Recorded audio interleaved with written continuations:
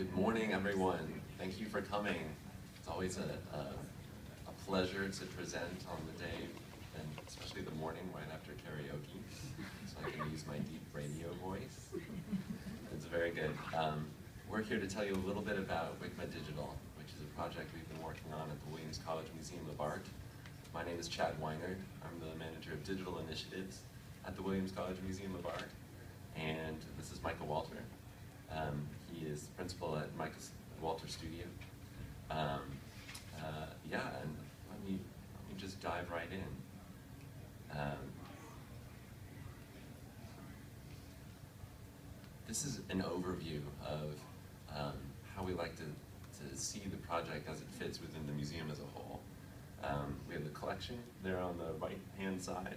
That's a visualization of the entire collection. And you can see uh, kind of a dynamic group of public and audience-facing programs up there on the left. Let's dive in. That collection piece is about 15,000 um, works of art collected over the last um, 60 or 70 years. Uh, it's a collection that's really uh, focused on teaching, so it's a, it's a broad collection. Um, it's deep in, in areas as well, um, and it's used in really, really interesting ways. Uh, the collection and the collection data that we have has been lovingly cared for and supports um, all of these program areas. Um, it's a wide range of program areas. The, um, the one thing that I would love to get across um, really quickly is, is how dynamic and innovative uh, Williams College, uh, the museum is at using the collection in really interesting ways. Um, I'll highlight just a few of them. One of my favorite examples is the WALLS program. This is a program where um, students are encouraged to, to select a work of art from the collection. They bring it home to their dorm room and live with it for a semester. This is the sort of deep um, uh, learning experience that the Williams College Museum of Art is really interested in and really good at. Um, at the end of the semester, they write an entry in a journal that travels with each work of art. Um, uh, the journal entries are sometimes poignant, they're sometimes funny, uh, they're sometimes reflective. Um, they're always written with an eye toward the next person who's going to get that work of art um, uh, as a primer for the experience of living with that work of art down the road. Uh, for us, from a data standpoint, this is a really interesting um, example of qualitative data around works of art. Um, and this is a great picture students actually uh, will camp out in the snow uh, to get the work of art that they're most interested in. Um, uh, I graduated from Duke University. We do things like this for basketball games. Mm. At Williams, it's about works of art. Object Lab is another great example. This is a gallery where faculty members are invited to select five or six works of art from the collection um, that will help them best teach their course for the semester. And the courses are not just art history courses. They're not just history courses. This is a place where the chemistry professor can come in, select works of art that can help them teach certain things within their chemistry class. Uh, another great example of that is the Rose Study Classroom, um, where Williams College Museum of Art staff work directly one-on-one -on -one with faculty members to select works of art and present them to a class in a classroom setting um, for a direct experience with objects uh, teaching a class concept. So in each of these examples, you get a sense of um, not just the museum presenting works of art uh, in an art history context, but eager to present works of art in a neuroscience context, in a physics context, in a computer science context. All of these new contexts are not ones that we um, uh, are necessarily familiar with. So they're all opportunities for us as a museum to learn um, new knowledge, new context around our objects. So part of, um, a big part of our idea around this project is to, is to gather that new knowledge, that new context that happens um, as an outgrowth of these programs and bring it back into our collection data. Once it's back into the collection data, we can then uh, discover new ways to share this new context and that, new, that sharing of the new context allows for even more um, programmatic use. So we can approach that chemistry professor who might be a little hesitant, might not know where to start in using um, works of art for a, a chemistry class. Um, but we can offer a, a, selection of works of art that have been used before in chemistry or in neuroscience or by, by his uh, um, other department members um, and have at least a, a starter, um, which help, helps us to, to get those faculty members comfortable with using the collection um, and, and gives them a sense of, of ownership as well. And so this is the cycle that we're, that we're meant to, to encourage um, and through this digital project and data project, um, spur new collection knowledge and new um, program use as well. There are two areas where we're trying to kickstart this cycle as well. Um, one is certainly on the data side. Um, so very early on, we released our collection data set um, as, a, as a new programmatic way to, to access the collection. That collection data set, I should say, is available on, on GitHub as a CSV file, as a JSON file. It's a real resource and um, uh, an entry drug conversation, especially with computer science departments, stats, math, um, and others. Um, we found early on that a complete image set, uh, thumbnails of each of the image works of art in the collection, is also really helpful for a stats class, for a faculty member that's interested in, in um, uh, math or computational media. Um, and an outgrowth of both of those is a collection API um, that uh, is a, a, fantastic resource for students, um, uh, even starting out in computer science. So these, these ways of um, the data actually kickstarting, adding to our programmatic ways of, of integrating the collection into the uh, academic field is, um, is already bearing fruit. We've seen in just the last couple semesters classes embracing um, the data that we've been coming up with. So this is actually a class out uh, in UCLA. So when you post uh, a collection data set up on GitHub, it's of course available to everyone. Um, this Digital Humanities 101 class at UCLA scooped it up. And um, groups there use it for data projects. You see on the right, data visualization projects, um, some, some basic uh, artist network mapping, timelines. This is, it's, a, it's a great example of, of opening up a collection um, and being more excited by the uses that other, others are making of the collection um, than even uh, your own um, work. This is a human-computer interac interaction class that was, um, it was a relationship inspired by our release of the collection data, um, but the HCI class found the physical spaces of the museum as an ideal teaching place to teach the, the concepts of um, uh, informal learning spaces, uh, even, even at that interface of physical and online spaces. And so this, um, this cycle continues, certainly. Object Lab, we had a stats class in even last semester, um, considering uh, the concepts of clustering um, and clustering uh, image artifacts in particular. Um, with our image set and with our new data set, this was a possibility. And it was amazing to see these ideas worked out in a gallery setting as well. So one thing in terms of a, of a digital project that I think as museum technologists we rarely have access to is access to an exhibition program. Um, Pink Art was an exhibition based on the ideas that were coming out of WCMA Digital. Um, this was a, a, a gallery exhibition um, where we essentially uh, allowed the galleries to become our visualization space. Other institutions might have giant screens, may have um, the capability of, of doing dynamic visualization. For us, our primary resource is physical gallery space um, and uh, allowing works of art to, to tell the story. So we collaborated with a computer science class, um, tasked five students with ranking the entire collection, again that image set, by pinkness. And um, each of those, five of the, the student groups developed their own algorithm uh, to do that. Each was very idi idiosyncratic, each was uh, uh, bespoke, each had its own perspective and view on the collection. Um, we gathered those uh, and curated an, an exhibition that, that spoke to these different perspectives on the collection.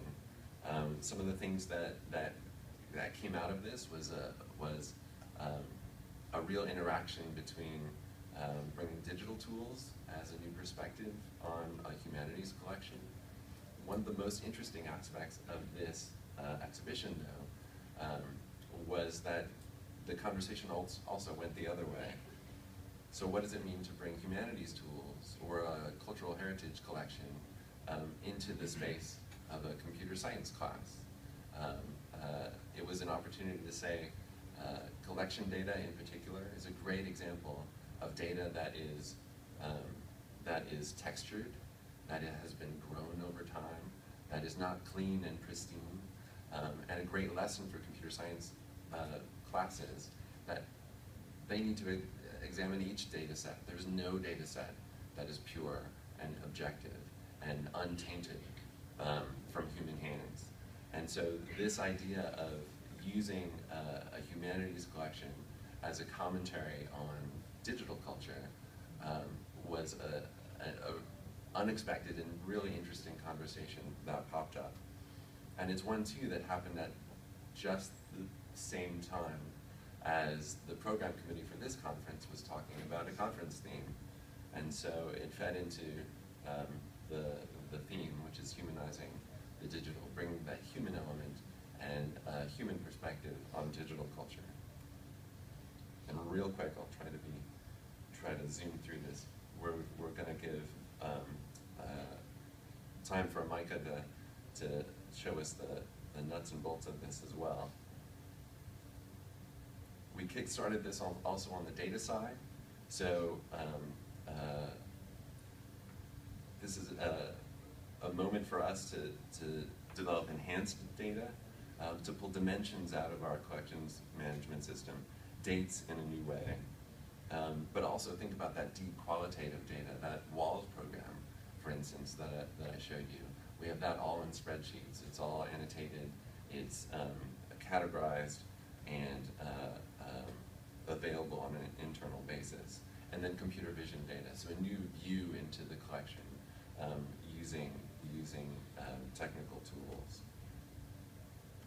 And that just leads onward in the cycle. We did data visualization sprints that allowed us to see our collection in new ways and to share our new findings with curators. Um, so this is some of that use data that we are talking about. These are exhibition counts the cursor is pointing to a, a Picasso print. I should say this is a view of the entire collection.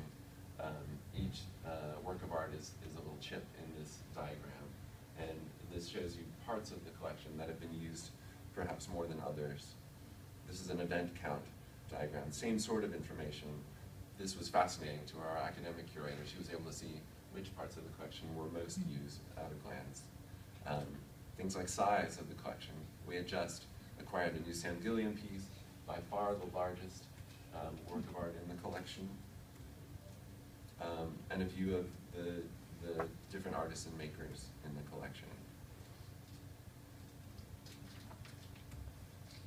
We're just now hiring a postdoc position to, um, to bring our collection, collection tools, collection data um, to the faculty as well um, to help us with that interaction but also to help the faculty members in their own digital projects. We're in a really interesting situation where we at the museum can be that interface between different departments. Um, it's, a, it's a natural uh, for uh, an art museum at Williams College to, to be that intermediary and the home of digital humanities in a way. And our next step is an, an enhanced online collection.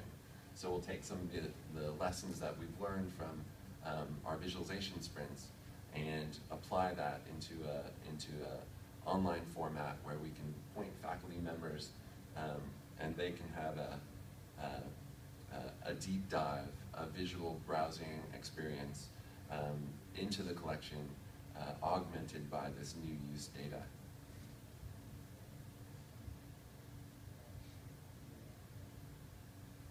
and that's what I got.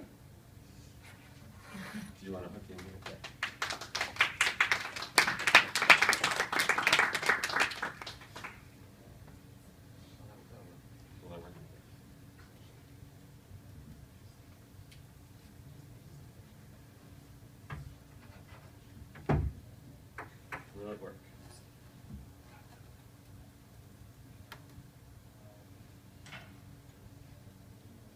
Hi.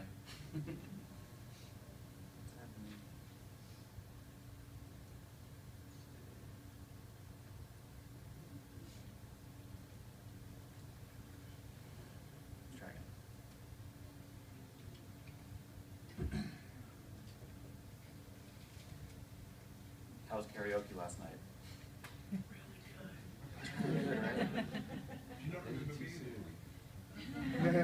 I was there. Try another dongle. This is live demo time, so you know it's going to happen. It's going to work.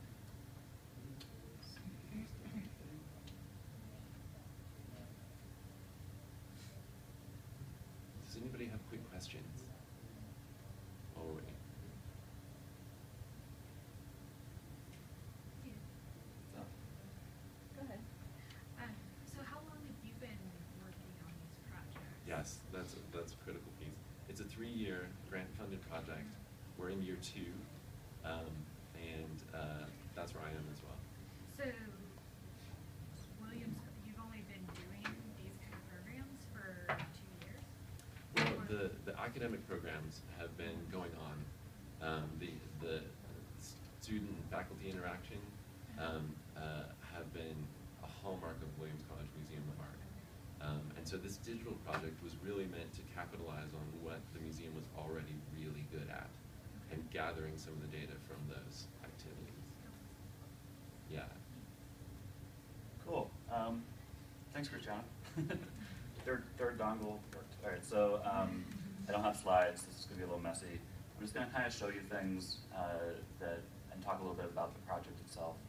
Uh, we started working with Chad and WCMA, what, like six months ago, maybe a little longer than that. Um, and what I found really interesting about WCMA and specifically about working with Chad is that they're they're really open to doing a lot of things out in the open.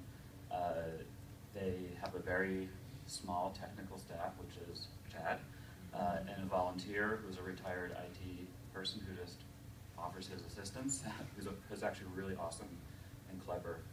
Uh, so we really needed to think about how to approach this project um, so that we could build something really complex with uh, really simple parts. Um, so we do everything open, out in the open on GitHub. Uh, Chad had already released the collection data here. As you can see, all of our code is available, um, open source for anyone to see, uh, and really well documented. That's kind of something we've tried to really think about is that later on, after we're done with this project, they might hire a developer or another firm to come in, and we really want them to be able to uh, get under the hood and turn screws and evolve the, pl- the platform. So feel free to take a look. This kind of outlines how it all works. It's meant to be able for anyone to sort of spin up and start their own instance of this. Um, but let me take a look at this diagram here that sort of explains how everything fits together. So on the left, there are various sources of information. Uh, and for this project, that means TMS, um, but it also means Excel spreadsheets and Google Docs uh, and other things we haven't thought about yet. The point is, there's all sorts of data sources that are sort of the source of truth for all the uh, all the information that WICM is collecting through its use of the collection. Uh, we have this idea of a dashboard, which I'll show you in, in a moment. Uh, of course, there's the API, which is the nerdy part. There's an authentication layer, which I'll explain too, which is really stupidly simple. Uh, and then we have another database that we create to sort of uh, store all this information and make it very searchable. We, we use Elasticsearch for that. Um, so data comes in, it goes into this database, uh, and becomes searchable through this API. We also have uh, image hosting. Um, they didn't have a digital asset management system, uh, so we found a really simple solution for that that I'll show you in a moment as well. And then there are outputs, and that's what we're working on now in this next phase. As, as Chad mentioned, we're building a, a way to explore the collection through its data. Um, but this could actually be a lot of other things, uh, like apps or other uh, projects that Chad and WCMA decide to do in the future. so that's how it's all wired together. It's actually really simple. Um, and I'm going to give you a little quick tour of the dashboard. Actually, that's that Sam Gilliam piece, isn't it, right there? It is, yeah. In the background. So whenever you go to the dashboard, you get a new random image back there because that's fun. Um, and of course, you can log. So this is all public, by the way. Um, parts of it are public, parts of it are private. Um, I'm going to log in as myself, so you'll see everything. So um, don't tweet the keys and everything. Uh, but we use a system called Auth0 to um, authenticate. Uh, Auth0 is a really simple tool that lets people, uh, so you can log in with things like Twitter and Google or, or your email address. I'm going to use Twitter. Uh, and it basically gives us a little database of users, uh, and it allows us to easily authenticate with uh, the system. Uh, if you're a new developer coming to this platform, once you uh, log in, you get minted an API token, uh, and that's just your password or your key to be able to use the API. And if you're a developer, what you might mainly see is documentation about how to use the API. So I can show you that. Uh, so this explains how the API works. Uh, it's basically a tutorial. Uh, it teaches you a little bit about what GraphQL is. GraphQL is just the technology we use for how the API works or is structured. Uh, there's a single endpoint, and then you can make all kinds of queries, uh, as many, as many as you want. Um, so this is a sort of hello world sanity check type of a query. Uh, but then in the, in the documentation, we also give um, examples of how to run this in your terminal or how to run it uh, in code. So we use Node.js to sort of give you an example of how to make that call. And we've got your API token pasted right in there. So you can just copy and paste this into your um, text editor and, and run it really quickly. And the idea here is to really enable people who are new to the API to get started as quickly as possible. Because oftentimes these are students or uh, people in Los Angeles or whatever who are just really curious about getting and, and want to get their feet wet and see what the API can do. Um, as well, there is also this thing called the GraphQL Playground, uh, which is something that comes for free with GraphQL. Uh, there's actually not a whole lot of setup involved, and it really it just allows people to play with the API uh, right in the browser. So I'm going to show you that here in a second. Uh, so if you find an example piece here, like a just a information about objects query, you can click Run it in the playground, and that should take you over to this playground thing, uh, where you can create your own queries. Here on the left, Can everyone see that? I can make it a little bit bigger. Uh, and then you can run them. So I just ran this query, which is just give me all the object IDs, and it just gives them to you over here on the right. Uh, I can modify that to add things like uh, title, kind of corrects you as you type. So now this adds uh, titles of objects. Uh, you can get more complicated, like adding uh, makers, and it just we're just adding more and more data to uh, the response. And what's really nice about this is that as a developer, you can really customize your queries uh, so that you only get back the information you need rather than everything that, that we might know about, which is really handy for things like mobile devices and that, and that sort of. Uh, if you don't know what's available, of course, there's sort of like a type ahead kind of thing here. So if I start typing, uh, what's another one, medium? Yeah, it shows me what, what's available, like that. It just gives me more responses. But then there's also documentation right here in line, so I can click on here and see all the different things I can query. Um, so you can see there is information about objects available. There are makers or artists, um, periods, mediums, exhibitions, um, and events, which is one of the things that Chad mentioned is really unique to this project. So we're, we're also making available information about events that have happened uh, at, at Whitman. So let me jump back out here. As you go down to the documentation, it gets more and more complicated, more complex queries. So here's one that we'll try out that basically gives you all kinds of information about an object. It also paginates that for you. So we want four objects per page, and this is page 10. And it brings up all the information about that object as well as the, the information about the images um, that are available. Uh, so let me jump over for a moment and show you how images work. So like, like I mentioned, we didn't have a digital asset management system available. As I'm sure a lot of you know, those things can be expensive uh, and complicated to roll out. Uh, so we went with a really what I call the simplest, dumbest thing answer for uh, a digital asset management system, which is a service called uh, Cloudinary. Uh, and we're actually still using the free plan, I think, uh, which is great. So um, we have over 17,000 uh, artworks in the system. Uh, and what's really cool about Cloudinary is that it's really meant for developers rather than uh, a cataloging tool. So we have a system in the background that uploads all these images into Cloudinary and keeps them refreshed. And then you can go in and take a look at them, um, but this is actually really just for us to see. You can uh, resize them, you can uh, modify them in different ways, but more, more importantly, you get URLs, right? So it tells you uh, how to reference these things in your code. Uh, and what I think is really fun to show around Cloudinary is that it also does a lot of uh, image processing stuff uh, that's really handy on the web. Uh, so these ideas of transformation. So if you upload an image that's, let's say, a thousand pixels by a thousand pixels, it'll create transformations for you on the fly. Maybe. Uh, oh. Really? Live demo. Always allow. Cool. Uh, Oh, so there's a really tiny one. Uh, so it, it automatically uh, resizes those images based on the Im information that you put right here in the URL. I know it's really hard to see, but I can put in, let's say, 400. Sorry, let's see. Oops, I did it wrong. Just one second. So if I change the width here to 400 and the height to 500, uh, it should give me back a bigger image. Uh, and it does all sorts of other things, like you can uh, do some image recognition. It'll give you like round thumbnails if you want, or thumbnails with corners rounded off, all sorts of cool transformations, all basically for free. It's really simple to set up and use. And there's really not a lot of configuration here. Uh, and the thing that I think was really important with this project was to piece these things together in a way that wasn't a big burden for the project itself, because what we were really interested in this project was the data itself. So uh, let me go back to the dashboard. Where's that? That's here. So in addition to all the documentation around uh, how to use the API, the dashboard is also WCMA's tool for managing the API. Uh, so there's an area here called configuration. Uh, this is the part you're not supposed to tweak, or to, to, to tweak.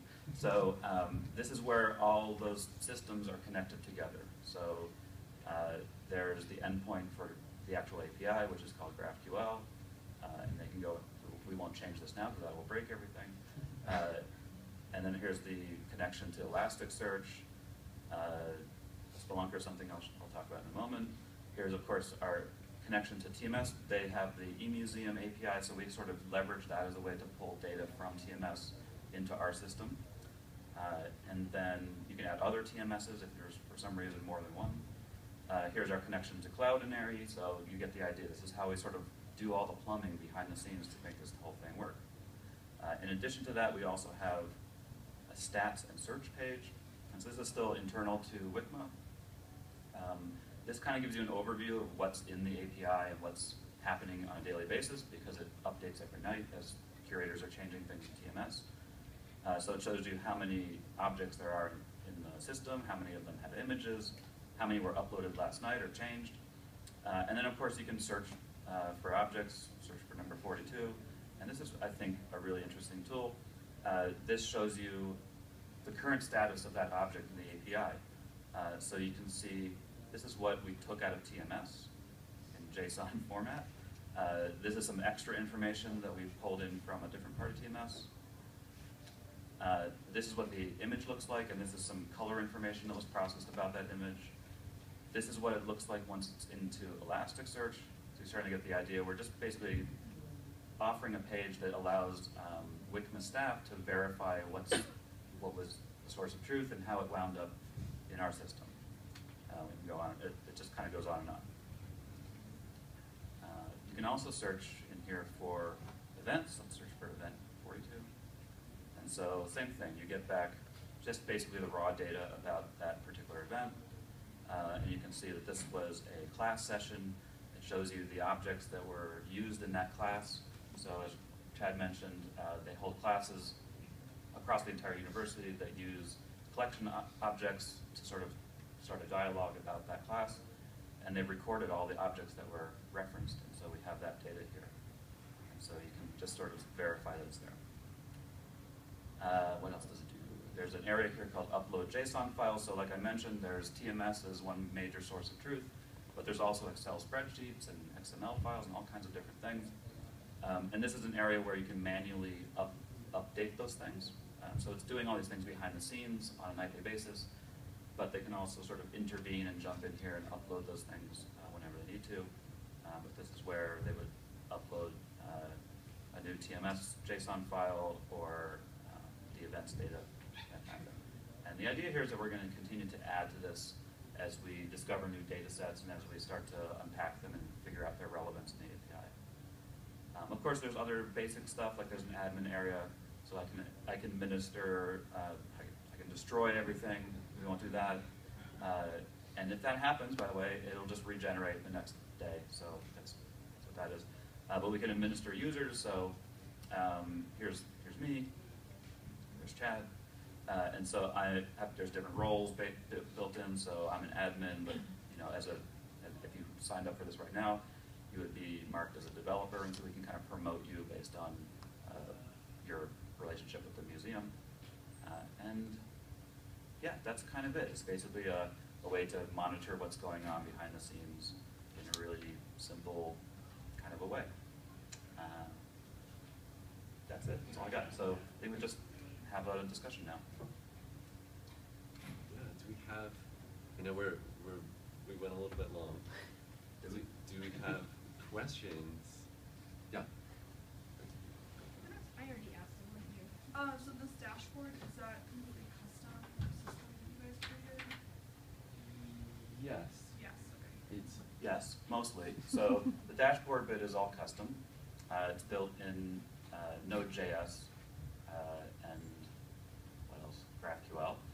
Uh, but all the other important pieces that I showed are pretty much turnkey off the shelf, like Cloudinary. We just signed up, right? And Auth0, which, which is our uh, user authentication service, same kind of thing. You just sort of sign up and configure it. Uh, so that's the idea with it. The, the core piece of the, of the, of the project is custom, uh, but all the kind of heavy lifting is done through uh, off-the-shelf services.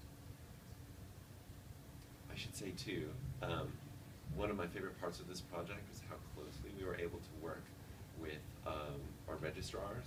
So it's lovely to have Rachel here, our associate registrar.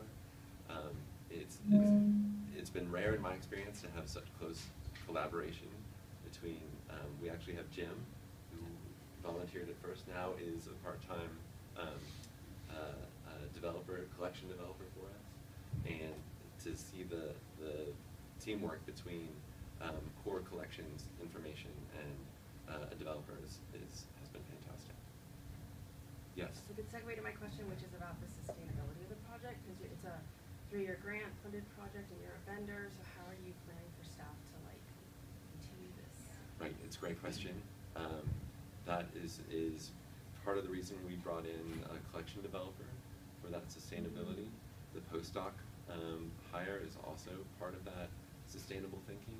Um, but even our choices in terms of architecture um, were ones that were informed by, um, as Micah said, the, the ability of us, for us to, to hand that off to a, um, a junior level developer um, in a way that, that would make sense to them. Um, and uh, uh, I think certainly as we as we move forward, that will be the, the kind of thinking um, that we roll through. Yeah. Curious about like some of the other aspects of collections management that might be integrated into this, uh, loans, traveling exhibitions, uh, even conservation, and whether that's kind of like further down the horizon, uh, as a way to kind of, you know, both internally useful and externally to create some visibility in the museum process. Yes, I think that that's the sort of opportunity that this kind of project opens up.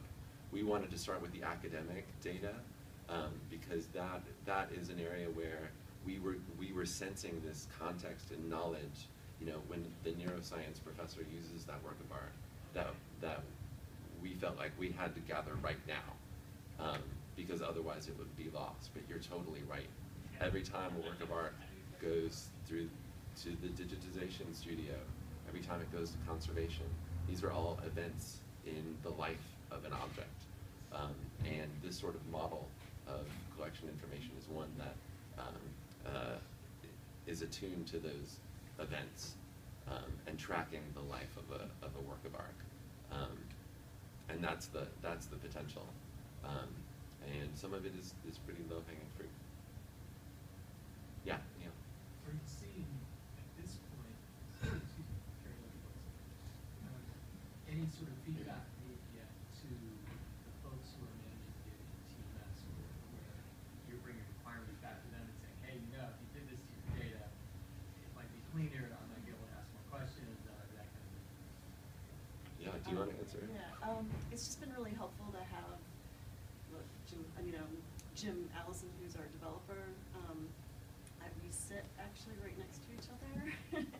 And, um, I often, or he'll oftentimes ask me, like, where is this? Like, you know, where's this data? And I've had the luxury of being from the inception of our TMS database. Um, I kind of helped build it. Um, we had actually started on Argus and converted to TMS back in two thousand nine. And so, um, I was one of the first to actually put data in. So I kind of have a unique, um, Yeah. perspective where I, I know where all the data is. And we've been pretty systematic in our thinking, um, and because there's only been like maybe two people who have any say in where anything goes, we, we're pretty nimble and flexible. Um, and we definitely have taken advice from Chad, also our developer. Yep, yep. He's been really like, you know, you shouldn't do that. Like, Yeah. You know, like, you don't wanna do that. And, and, and I would say too, even as we released the data, as, you know, that first data set went out, we released it probably too soon, um, because I was eager to get feedback on it. And so when a class uses it, and they say, oh, this is good, but wouldn't it be great if we had this? We can come back and say, can we get that? And we can. Yeah, and Jim, he has the capability of moving. Like I can actually tell him the data right now is here. I want it over here. Mm-hmm. So he has the ability to move things, which is really helpful. Yes. Yeah. Yep. Any other quick questions? I'll be around all day. Um, thank you very much for coming.